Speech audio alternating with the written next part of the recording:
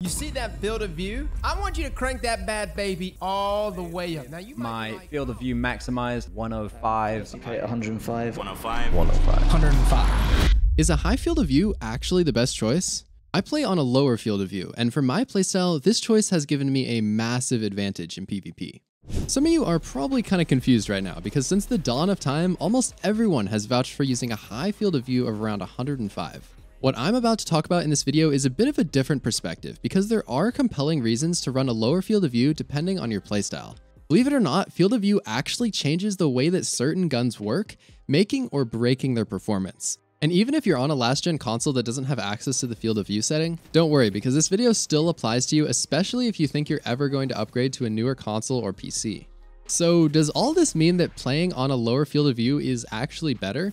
Well, it depends on a few factors, so let's jump into breaking down the pros and cons of FOV so that by the end of this video, you can make an educated decision about what's actually best for you. Before we do that though, a word from the sponsor of this video, NordVPN. Finding the best settings in Destiny 2 for stuff like your FOV, sensitivity, and button mappings can be very complicated and confusing, but on the other hand, protecting your data and online activity with NordVPN couldn't be any easier. Regardless of whether you're on your phone, laptop, or PC, you can enhance your internet privacy by simply clicking Quick Connect. A while ago, I used to think VPNs were some complicated and strange technology only for advanced users, but you can literally just click one button to encrypt your data and stay safe. Especially when it comes to sensitive information like passwords and online banking, it's really important to protect yourself online. And Nord has got you guys covered with a massive 73% discount and an additional free month if you sign up today at nordvpn.com slash shadowdestiny. And if you change your mind, no worries, you can get a full refund within 30 days. So use the link in the description and thanks again to Nord for sponsoring today's video. Okay, back to the content. Since there are so many misconceptions about this topic, let's start out with a couple of important fundamentals. FOV is a setting that changes what your camera shows you in Destiny 2. I went in game and took a screenshot of every FOV value from the minimum of 55 all the way up to the maximum of 105 to show you guys the difference. You can see on screen now that as the FOV increases, you get to see more stuff on your screen and everything gets a bit smaller. And then as you go back down, you'll notice that while less stuff is visible, the things that are on screen become noticeably larger. So essentially, your FOV is controlling what you can see and how big those things are. Make sure to keep that in mind because it's really important to know later in this video. FOV also has a huge impact on the visual appearance of movement within the game. Like you can see here that on 105, the maximum field of view, I seem to be moving rather fast, but then on 55, the lowest field of view, I seem to be moving at a snail's pace. In reality though, I'm moving exactly the same speed in both of these clips and you can see that it takes me exactly the same amount of time to run from one side of this land to the other. So now that you understand all of that, let's get into how to choose what FOV is right for you and why a low field of view might be super powerful for your playstyle, because it certainly is for mine. I'm going to be going through a few equally important points before jumping to any type of conclusion or recommendation, so stay tuned.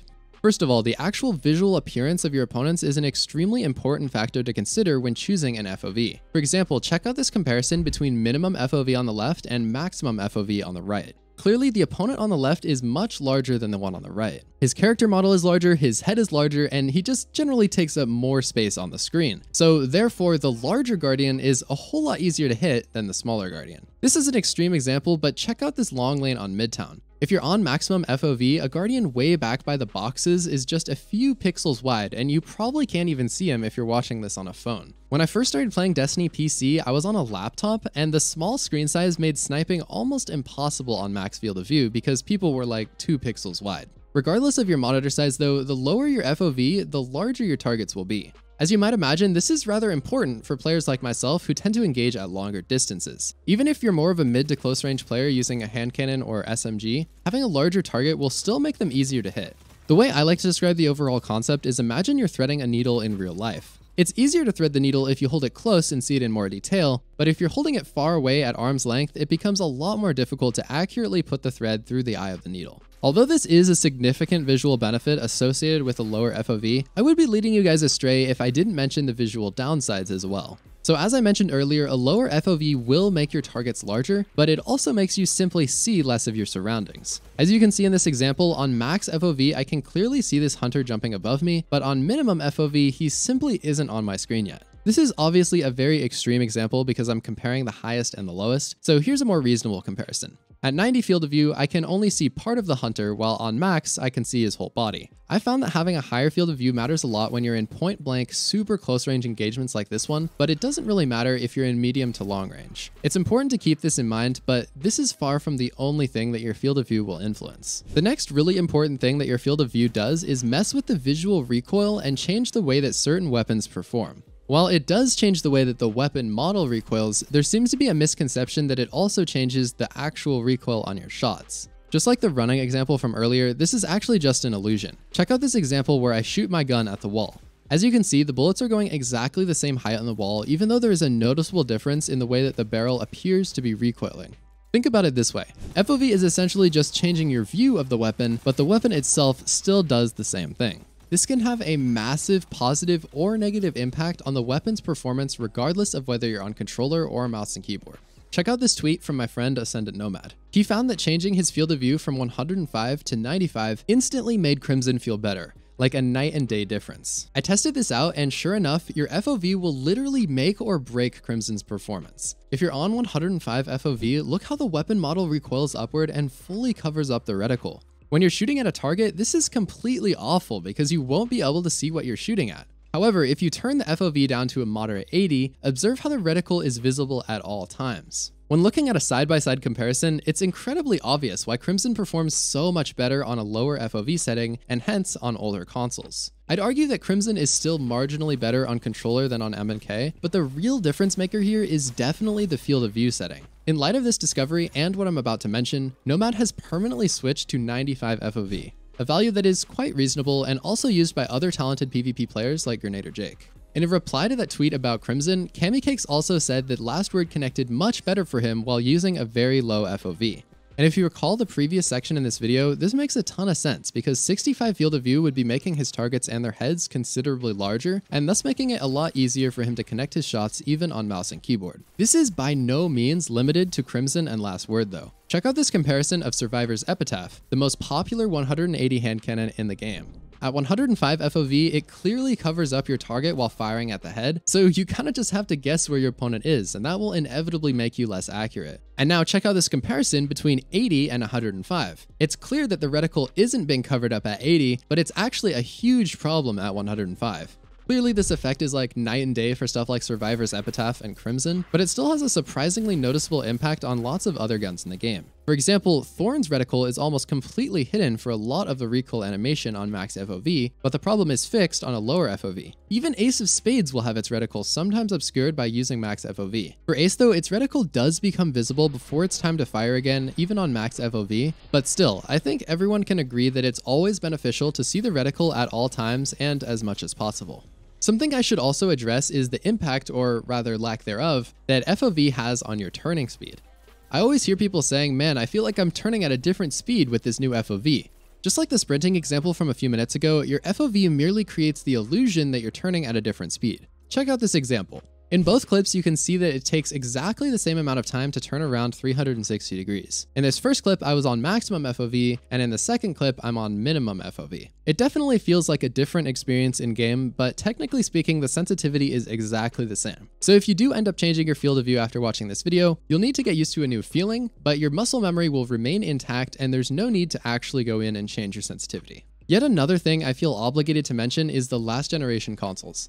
PS4s and Xbox Ones are locked at 75 field of view.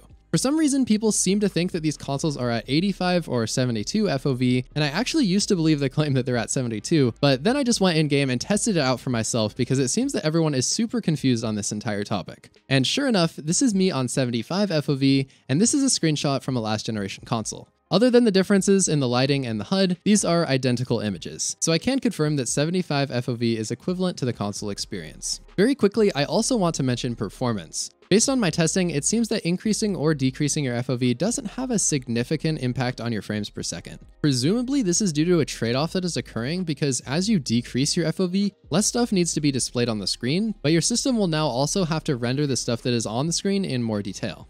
I've gotten so many questions about this topic, and there seems to be so many misconceptions about how FOV actually works. So if you've got a friend who thinks that they're being severely handicapped by an older console's FOV, or if you've got a friend who thinks that 105 is unquestionably the best field of view setting, send them this video because they'll probably find it pretty interesting.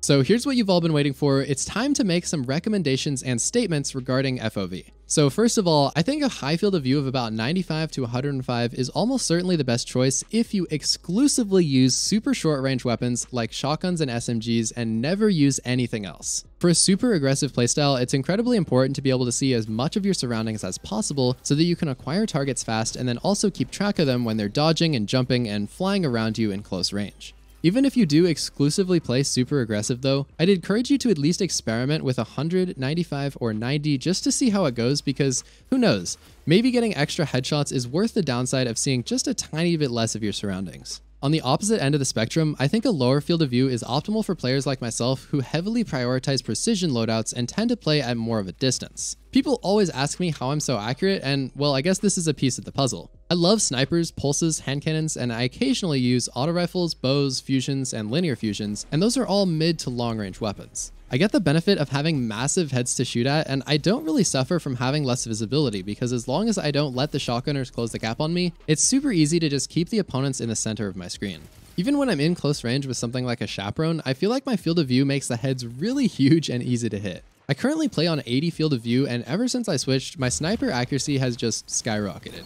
I had a 96% headshot accuracy during my Trials carry stream last Friday, and you should totally follow my Twitch by the way, twitch.tv slash shadowdestiny. I'd love to see you there. So overall, I'd like to leave you guys with this statement. If you want to hit more headshots or just improve your overall aim, a slightly lower field of view might be the best choice for you, if you don't mind sacrificing just a bit of visibility. I currently play on 80 and everything between 80 and 95 works great for me, but I wouldn't recommend anything below 75 because sacrificing that much visibility is taking things a little too far in my opinion. As a meme, I did actually try out a game at 55 FOV for this video, and I ended up dropping 45 kills and going on a we ran out of medals, but uh, I felt like I was half blind, so I wouldn't recommend it. If you're used to 105 and you turn it down a bit, it's gonna feel awful when you first switch because it looks super slow in comparison, but just try to remember it's all just an illusion and your movement and aiming is just as fast as before.